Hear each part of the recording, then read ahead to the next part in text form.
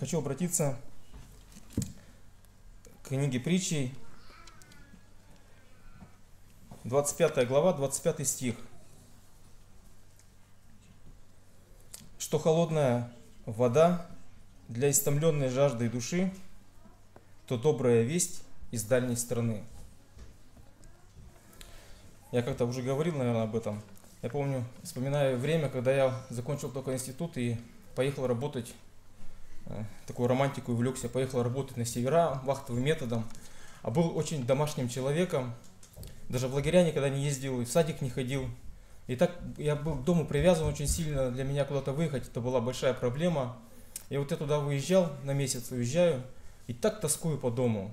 Так мне прямо, вот прямо вот сердце рвется домой, все сердце домой рвется.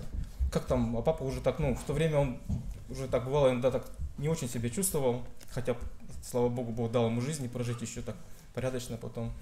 И вот я так помню, сотовых телефонов не было, я после работы так раз смотрю, время позволяет, на почту побегу, иду на почту, там километр, наверное, около трех надо было, так иду туда, так с мыслями, что там, как там дома, приду, позвоню, поговорю там с мамой, с папой поговорю, услышу и голос, обстановку расскажут.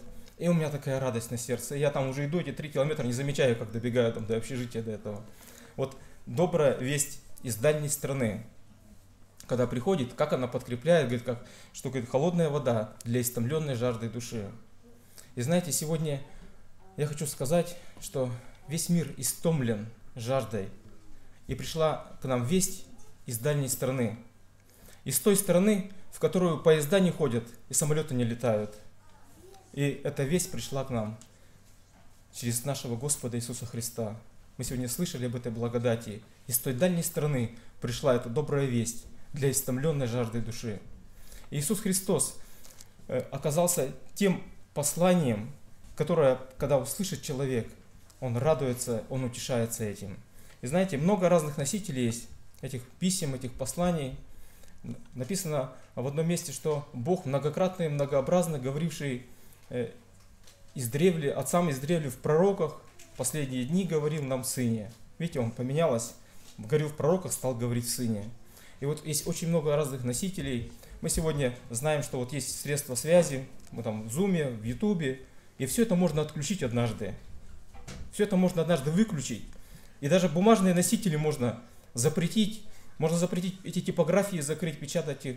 Но Бог говорит нам в Сыне – и вот это никто никогда не выключит. Нет у никакой власти выключить эту добрую весть, когда Бог говорит нам в Иисусе Христе. И мало того, Он написал это первое письмо через Иисуса Христа, а потом всех нас сделал письмами Христовыми. Я хочу сегодня прочитать еще одно место, напомнить нам из послания, второго послания к Коринфянам, третья глава, со второго по шестой. Апостол Павел так говорит, вы наше письмо, написанное в сердцах наших, узнаваемое и читаемое всеми человеками. Вы показываете собою, что вы письмо Христово, через служение наше написанное не чернилами, но духом Бога живого, не на скрижалях каменных, но на плотяных скрижалях сердца. Такую уверенность мы имеем в Боге через Христа.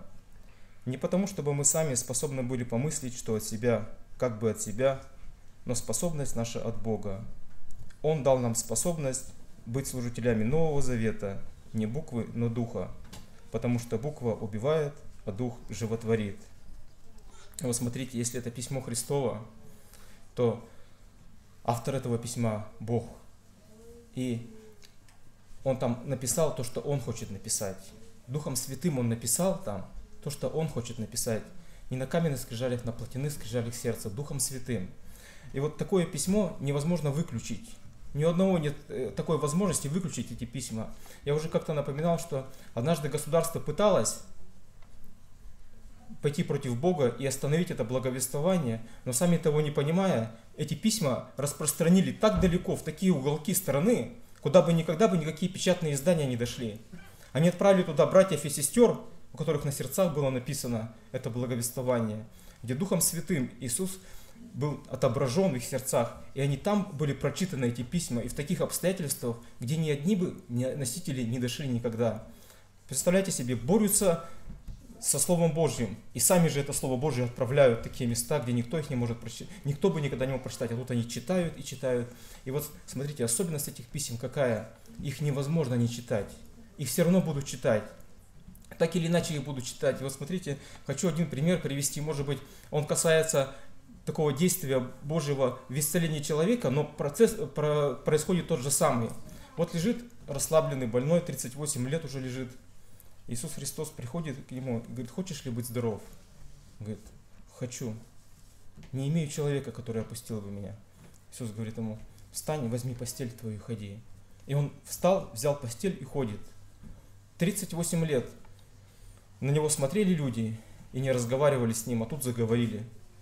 Кого-то это восхищало, кого-то это удивляло, кого-то это к Богу направляло, а кто-то сказал, сегодня суббота, не должно тебе брать постели.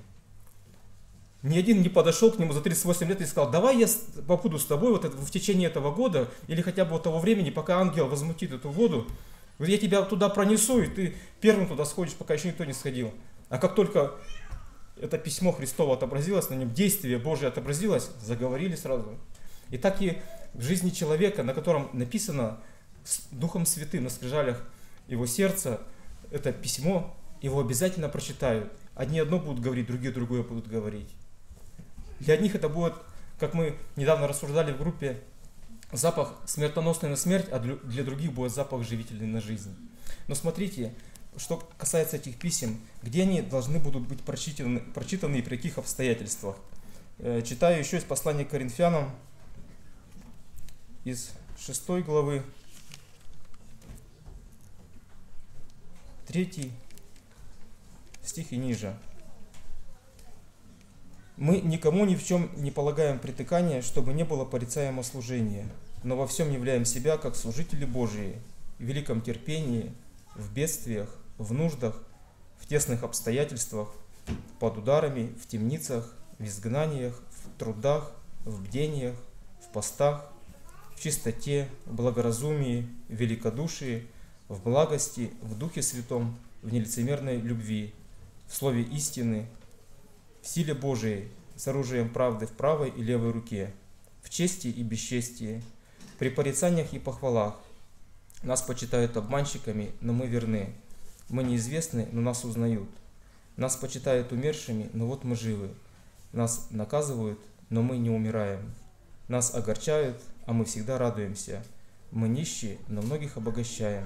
Мы ничего не имеем, но всем обладаем. Посмотрите, в каких разных обстоятельствах это письмо должно быть прочитано. Какие разные обстоятельства приходят, ну, понимаете, эти обстоятельства приходят не просто так, как мы сегодня слышали. Автор письма, Иисус, он где захочет, чтобы оно было прочитано письмо, он туда его и отправит. И как хорошо, когда мы согласны с тем, чтобы нас там прочитали. Посмотрите, что является, ну, вот эта ценность письма для тех, кто его читает со стороны. Но я хочу сказать сегодня еще об одной ценности, которую имеет само письмо. Для письма нет лучше, как та ценность, которую он внутри себя несет. Еще одно место я читаю, чтобы было понятно более э, ход мыслей моих. Это из второго послания к Коринфянам, также из четвертой главы. Все это послание, как бы оно, об этом речь идет в нем, четвертой главы, седьмой стих. Но сокровище сие мы носим в глиняных сосудах, чтобы преизбыточная сила была приписываема Богу, а не нам. Мы отовсюду притесняемы, но не стеснены. Мы в отчаянных обстоятельствах, но не отчаиваемся. Мы гонимы, но не оставлены. Не излагаемы, но не погибаем. Всегда носим в теле мертвость Господа Иисуса Христа, чтобы и жизнь Иисусова открылась в теле нашем. Посмотрите, какая ценность этого письма для самого письма. Мы, говорит, тесных обстоятельствах, но не стеснены. Мы гонимы, но не оставлены. И когда мир читает эти письма, для тех, которые спасаемы, что они видят в этих письмах? Они видят, что человек не стеснен в таких обстоятельствах. Они видят, что он не унывает. Они видят, в нем жизнь является. А для тех, которых запах на смерть, что они видят? Да кто люди, что это, что это за люди такие? Их непрестанно гонят, их постоянно не излагают, да что в этом за радость какая? И человек, который погибающий, он не видит ценности этой письма. Но тот, который спасаемый, он другое видит в этих людях. И как хорошо, когда мы сегодня можем ощутить вот эту ценность внутри наших сердец. Для того, который лежал в купальне 38 лет, какая ценность для него была? Для него ценность была ходить. И когда люди начали ему говорить, да ты что постель носишь, сегодня нельзя, сегодня суббота, они уже не могли ему сказать, да ты ложись, давай лежи, расслабленным будь. Они не могли приказать ему больше быть расслабленным. Те, которых Христос исцелил от слепоты, они могли сказать, нет Бога это человек, он субботы не хранит. Но они не могли сказать, закрой свои глаза и ходи слепым дальше. Так и сегодня те, у которых Бог Духом Святым написал на сердцах эти письма, а их уже невозможно каким-то образом изгладить. Бог там пустых листков не посылает, и какого-то, каких-то писем неподобающего содержания Бог не посылает. И слава нашему Господу, когда мы понимаем ценность этих писем. Самое драгоценное, э, то, что Христос написал, мы сегодня псалом слышали прекрасный, оно открылось вот на Голгофском кресте. Самая драгоценная часть этого письма, она там открылась. Я сегодня за собой замечаю, вижу так, что я бывает не готов идти на ценности, чтобы меня читали в таких обстоятельствах, которые кажутся тесные, но там самые нужные обстоятельства, чтобы прочитали это письмо. Мне иногда кажется, что цене где-то в других обстоятельствах. Но Христос, Он не остановился тогда, когда Он ходил, совершал знамения, чудеса, и когда входил в Иерусалим, народ встречал его с пальмовыми ветвями и пели ему, а Он плакал, Христос. Он хотел, чтобы в более ценных обстоятельствах прочитали это письмо. Он понимал, что ценность этого письма гораздо глубже. И сегодня хорошо, когда мы готовы просто не отказаться в нашем сегодняшнем дне. Сегодня у нас есть такие обстоятельства, в которых мы не хотим, чтобы нас там читали. А Бог хочет, чтобы нас там прочитали. Нам приятно, когда при похвалах нас читают. Нам приятно, когда нас в чести читают. Но когда в бесчестии не хочется, чтобы читали. Когда при порицаниях не хочется. Хочется уйти. Но я хочу сказать, что там, в этих обстоятельствах, там истомленные жаждой души. Там они более всего ценность приобретает то письмо, которое Христос написал на твоем сердце. Там наибольшую ценность оно приобретает. И оно как холодная вода для, утомленной, для истомленной жаждой души.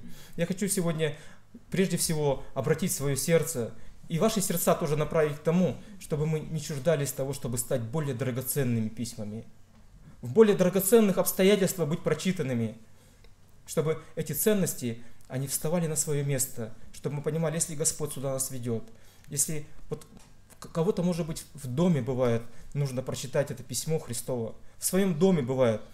Кажется, где-то мы читаем, мы готовы проповедовать где-то. Мне легко сегодня на кафедре быть письмом Христовым, но иногда бывает сложнее в доме своем. На работе бывает так трудно. Бывает, человека над тобой поставят. Такого человека поставят, которого убежал бы, куда-то бы делся от него. Ну, там хочет Христос, чтобы ты был, был прочитан там, это письмо было там прочитано, в таких обстоятельствах, где оно будет ценнее всего, где оно больше всего утолит жажду истомленных сердец, истомленных душ. Я хочу, чтобы мы сегодня обращали на это внимание, идя по следам Христовым. Христос не отказался быть прочитанным на кресте, чтобы сегодня мы не отказались от этого, от этих шагов, от этих следов Христа, где Он прошел, чтобы мы знали, что если тут следы Христа, я сюда пойду. Да это трудно, но Христос, когда меня спасал, ему было еще труднее, несравненно труднее. Как и в послании к евреям, в 12 главе апостол Павел, заканчивая, э, скажем так, это послание, приводя ценность этих, опять же, этих, этих писем, как открывалась сила Божия э, в верующих людях, он говорил, одни были избавлены от меча, одни угошали силу огня, укреплялись от немощи, они же еще ценность выше идет. Знаете, кого-то хорошо, когда читают и смотрят, верующие избавлены от огня, избавлены от э, львов, от рва львиного, а потом раз ценность больше идет, еще выше ценность идет, а кого-то Бог избавляет не от огня, а в огне избавляет. Мы знаем, еще выше ценность является. Вот бы издал бы царь бы указ, и в печь бы не послал бы этих мужей. Вот бы издал бы он указ, и в ров бы львиный не попал Даниил. А а как царь прочитает это письмо? Он сказал, да, это по, по, по моему указу, по моей власти я захотел, и вот они не попали в печь, я их от огня избавил. А когда он их в печь не смог ничего сделать, и в печь они были отправлены. Когда в ров Левины был отправлен Даниил, и царь ничего не мог сделать, и он там избавленный, вот он прочитал это письмо. Это было для него предназначено письмо. И сегодня Бог хочет где-то, может быть, в тех обстоятельствах, те люди, что прочитали, которые, может быть, высоко думают о себе, с высокой властью, может быть, какие-то другие обстоятельства у этих людей бывают, но когда ты там будешь прочитан, для них это будет откровением. А есть еще выше, Говорит, а другие не приняли освобождение, чтобы получить лучшее воскресение. Не приняли. Что значит не приняли? А то, что оно им предлагалось, но они его не приняли.